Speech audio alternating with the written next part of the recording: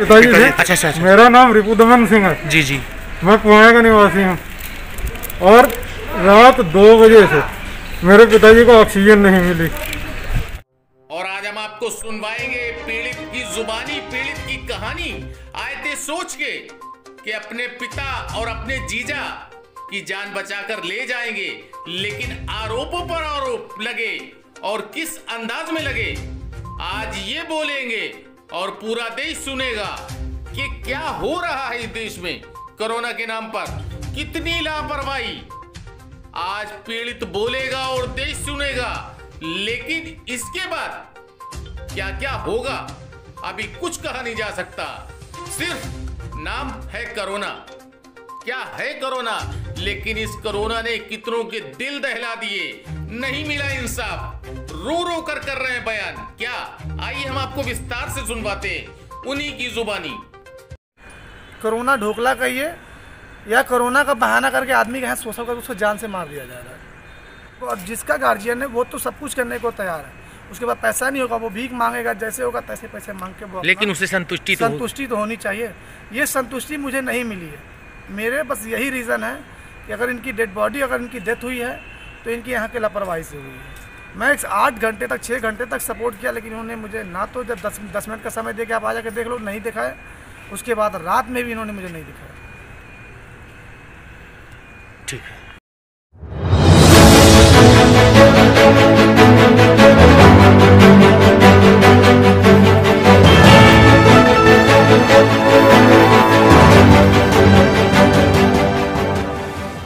मरने वाले का क्या नाम था?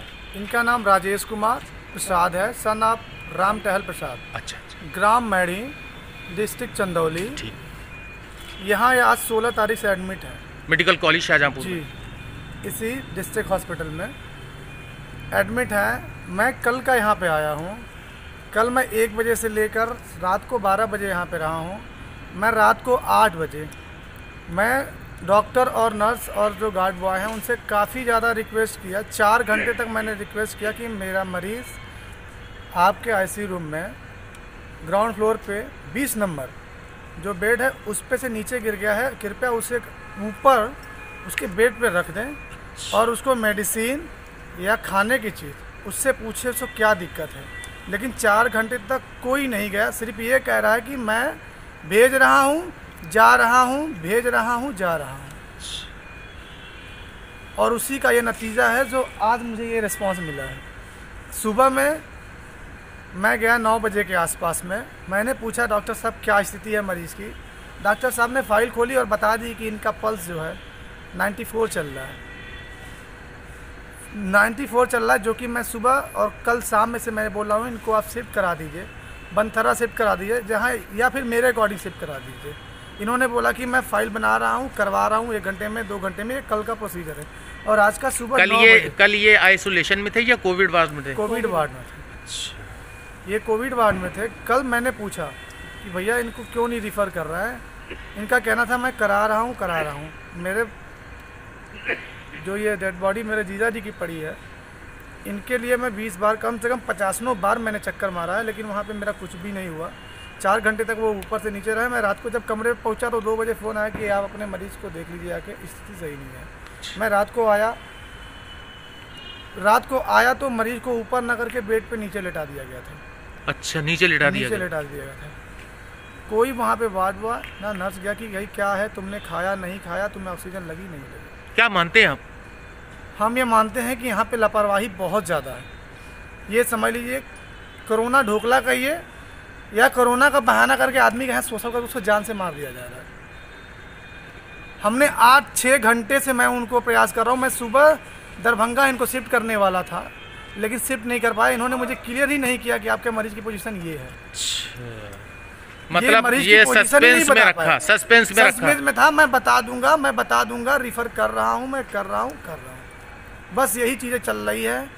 और जब मैं एक बजे अपने कमरे पे पहुँचा तो फ़ोन आया कि आपके मरीज़ का हाल बहुत ज़्यादा ख़राब है। आप कहीं शिफ्ट करना चाहते हो तो कर लो। जब मैं वहाँ पहुँचा तो मुझे ढाई घंटे तक बाहर खड़ा कर दिया गया। कोविड आईसीयू के नीचे? कोविड आईसीयू के नीचे ठीक बाहर। वहाँ पे खड़ा कर दिया गया, अंदर नहीं जाने दिया गया। मैं यहाँ से वहाँ सीएमओ के पास में गया। तीन घंटे बाद मुझे ज़बरदस्ती जब सीएमओ ने बोला कि नहीं आपको जाना है तो किसी डॉक्टर ने कहा कि नहीं उनके कहने से नहीं जाना है।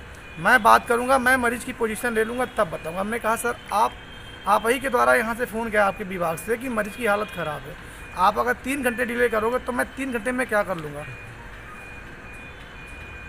और उसी तीन घंटे का नतीजा है कि जो मुझे जिनके डेड बॉडी मिली समाज को कुछ कहना चाहेंगे? समाज, समाज से सरकार से कुछ समाज कह... को और मैं सरकार से यही कहना चाहता हूँ कि जो मरीज़ जैसे भी है अगर वो कह रहा है कि मुझे सपोर्ट चाहिए वार्ड बॉय या गर्ल्स का तो प्लीज़ उसे सपोर्ट करें और उसे दें ताकि वो अपनी शक्ति स्वयं प्रदान कर सके। आप सुबह आते हो एक बार सर्वे करते हो शाम को सर्वे करते हो बस उसके बाद आपने रजिस्टर मेंटेन कर दिया। उसके बाद क्या हो रहा है क्या नहीं हो रहा है आप गार्जियन को बोल रहे हो आप बाहर रहो बाहर रहो बाहर रहो या फिर मरीज़ के साथ में एक तीमारदार जाने की इजाज़त हो? एक आदमी को जाने की इजाज़त हो। हो तो आप उसकी व्यवस्था दो या फिर स्वयं उसको बोलो कि आप अपनी व्यवस्थाएँ करो ये प्रोटोकॉल है उसके अंतर्गत आप अंदर जाओ। अपने मरीज़ को खान पान जो भी है स्वास्थ्य से संबंधित जो उसको दिक्कत आ रही है उसकी अंदर की क्या बात है कुछ क्या चल रहा है वो पूछिए आप या फिर उसके गार्जियन को बोलिए जाने के लिए। अपने प्रोटोकॉल से जब आप किट पहना के अपने ही गार्ड बॉय को अंदर भेज सकते हैं तो एक गार्जियन को भी आप अंदर भेज सकते हैं।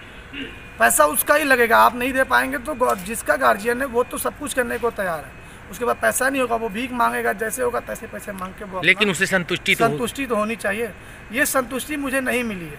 मेरे बस यही रीज़न है कि अगर इनकी डेड बॉडी अगर इनकी डेथ हुई है तो इनकी यहाँ के लापरवाही से हुई है।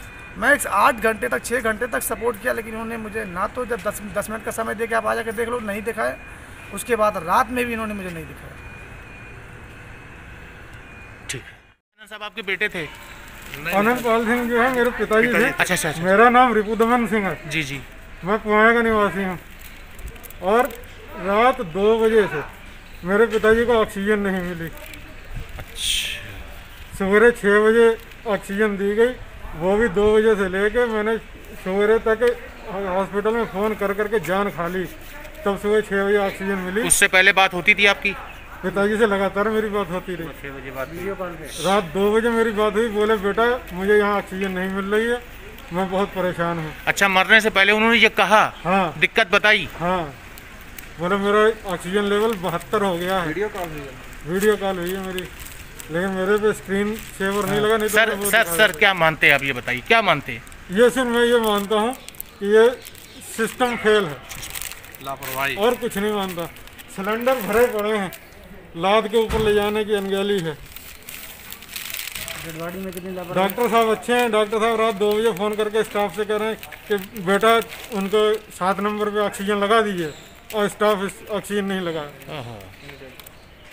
ठीक ठीक। अगर आप हमारे चैनल पर नए हैं तो इस चैनल को सब्सक्राइब ज़रूर करें और बेल आइकन को दबाना ना भूलें ताकि आप कोई भी नई वीडियो का अपडेट मिस न कर पाएँ।